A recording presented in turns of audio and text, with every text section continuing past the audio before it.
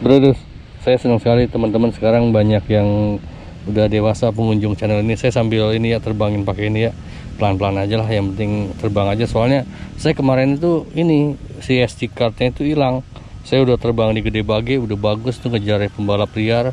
Gak taunya SD cardnya hilang jadi nggak bisa saya upload dan Jakra saya senang sekarang banyak teman-teman yang udah dewasa seperti Om Susu Happy Om Rudi Om Rudi juga kan kelihatannya saya lihat di channelnya ada anak ladies juga di rumahnya kalau menurut saya ngurus anak perempuan tuh susah. Kalau menurut saya loh. Saya soalnya nggak punya anak perempuan. Kalau menurut saya susah sekali dan itu perjuangan gitu. Om Rudi kalau menurut saya loh. Karena di channel ini saya sering ngobrol dan saya lihat banyak kan banyak maksudnya banyak yang pengunjungnya anak-anak. Karena anak-anak itu emang seneng drone kayaknya. Kayaknya cuman kalau saya emang kayak Om Jakra juga kemarin kan nanya kan saya kenapa ngobrol sama ladies beda? Iya Om. Saya kalau ngobrol sama ladies sama anak-anak itu beda. Karena dalam kondisi perang aja untuk perlakuan yang beda itu ladies dan anak-anak. Dia tuh yang pertama itu dilindungi kedua diperlakukan khusus. Kalau saya nggak percaya ke omongan mereka. Mereka itu kalau kata Henry Adam itu makhluk yang paling sulit dikendalikan. Dan yang mengendalikan ya para orang tuanya seperti Om Rudi kameranya kurang jujur nih. Saya oke udah. Nggak apa-apa lah. Kita terbangnya pelan-pelan aja. Nah, jadi saya pengen sharingkan buat teman-teman yang udah married. ini saya khususkan video ini untuk teman-teman yang udah married ya. Karena saya meyakini bahwa teman-teman itu udah apa namanya kita selanjut sambil terbang ya.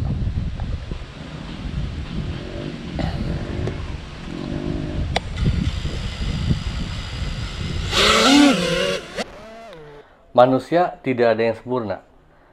Manusia itu sempurna karena ketidaksempurnaannya. Individu aja tidak ada manusia sempurna. Sok silakan. Kalau ada manusia sempurna silakan menampakkan diri. Kayaknya nggak ada. Kalau menurut uh, penelitian-penelitian dan uh, yang ilmiah-ilmiah lah tidak ada. Di dunia ini tidak ada yang sempurna gitu. Secara personal aja tidak yang sempurna apalagi pasangan. Tidak ada pasangan yang sempurna gitu kok. Orang biasanya kalau lagi muda-muda idealis. Pengennya yang ganteng yang cantik yang kaya yang uh, perhatian yang mau disuruh-suruh. Setiap hari ada suami siaga istri siaga gitu kan. Itu tapi seiring waktu makin kita makin dewasa ternyata yang kita cari itu makin susah gitu. Kita makin sadar oh nggak ada yang sempurna gitu. Jadi bagaimana caranya buat teman-teman yang udah menikah bagaimana caranya walaupun sudah kondisi ada given kita tetap bisa optimal memaksimalkan segala kemampuan kita. Bagaimana caranya? Itu saya punya clue. Jadi kita melihatnya tidak ke cerita Brian and Brian Brian and Brothers Brian Brothers itu si Mike Bryan sama Bob Bryan bukan. Karena dia memang apa terlahir udah jadi ter, apa udah destiny-nya udah pemain tenis juara mungkin. Walaupun perlu dilatih juga gitu.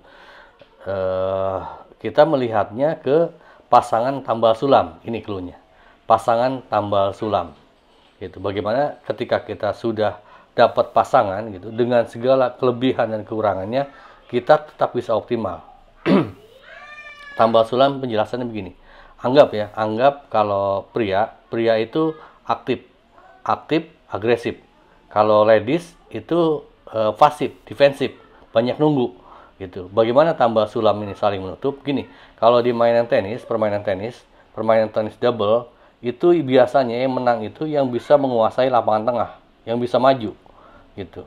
Nah bagaimana caranya pemain tambal sulam ini? Ya ini si prianya itu yang rajin maju mundur dia ke net mundur lagi ke baseline gitu. Wanitanya biar aja dia di baseline. Jangan dipaksa wanita untuk masuk ke net. Karena itu akan memforce uh, memaksa dia uh, dalam kondisi ketidaknyamanan. Gitu. Jadi uh, bagaimana caranya? Du kedua pasangan ini si pria dan wanita ini saling menutup. Saling bisa saling mengcover. Itu kunci untuk mengoptimalkannya pasangan tambah sulam itu uh, pelajaran dari tenis tapi itu saya pikir bisa diaplikasikan dalam kehidupan kita berkeluarga gitu anggaplah lelaki agresif mencari nafkah begitu begitu kan kira-kira Om Rudi mencari nafkah, uh, dagang sini, jualan ke sana, usaha sini, buka ini sini. Tapi uh, di rumah dia standby gitu. Dan dia si uh, ibu rumah tangganya dia memanage dan mengatur keuangan. Ketika misalnya si lelakinya, waduh nggak ada modal, oh istrinya punya simpenan gitu kan, gitu. Demikian pula sebaliknya ketika istrinya butuh sesuatu yang mendesak gitu, suaminya bisa membackup. Itu uh, arti pentingnya tambah sulam begitu.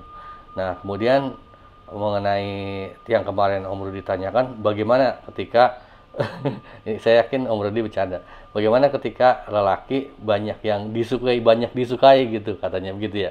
Kalau menurut saya di kata di itu pasif Om Rudi. Menurut saya ya, silahkan koreksi saya. Om Om Susu kayaknya pengalaman lebih tahu mungkin soalnya tahu tentang chemistry. Chemistry itu kunci untuk untuk kesuksesan atau keklopan pasangan ini itu perlu chemistry karena tanpa itu hambar gitu kan Om Susu gitu. Jadi kalau menurut saya uh, Om Rudi yang itu tuh yang di di itu di di itu pasif.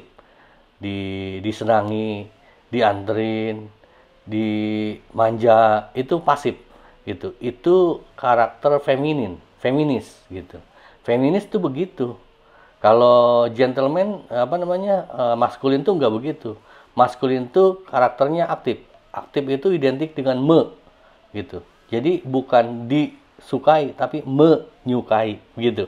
Itu bedanya gitu. Jadi ketika kita ada perasaan misalnya uh, bagaimana ketika lelaki disukai oleh banyak ladies?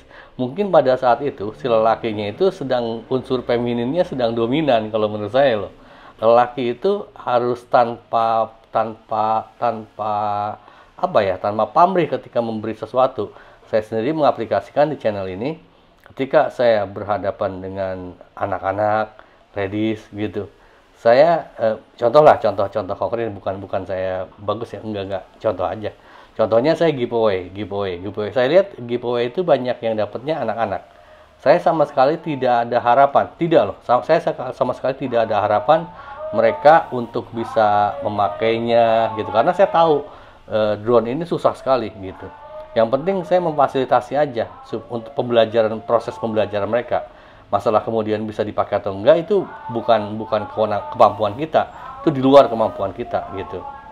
Perlakuan kita kepada anak-anak dan ladies itu sama. Kita harus tanpa tanpa beban, tanpa apalagi pamrih ya. Kita jangan ada sedikit pun keinginan untuk disukai, diberi oleh para ladies tidak posisi posisi lelaki adalah leader Om Jakra. Leader itu tidak tidak mengharapkan timbal balik. Ketika kita memberikan sesuatu kita memang ikhlas untuk kemajuan bersama gitu. Mudah-mudahan saya bisa begitu mudah-mudahan saya bisa begitu. Kira-kira begitu Om Rudi. Jadi kalau menurut saya eh, keinginan untuk disukai banyak orang itu umumnya itu doa-doa para wanita. Lelaki itu doanya begitu gak begitu. Ingat aja doanya Brusti Jangan pernah meminta kita diberi kemudahan, tapi berdoalah supaya kita diberi kekuatan untuk menghadapi cobaan sekeras apa pun. Kira-kira begitu. Mohon komentar dari teman-teman dan gimana pendapatnya kira-kira Om Jakral, Om Susu dan semuanya. Terima kasih atas semuanya, atas segala masukan dan tetap uh, meningkatkan, berusaha untuk meningkatkan skill masing-masing. Awesome.